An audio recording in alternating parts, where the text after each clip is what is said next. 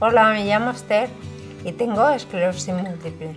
Ahora mismo puedo llevar una vida casi normal, aunque no paro, que es de lo que se trata, pero no soy la misma persona que era antes. Hay pequeñas cosas que han cambiado de prioridad, como por ejemplo cocinar, como ir al gimnasio, disfrutar de la ciudad.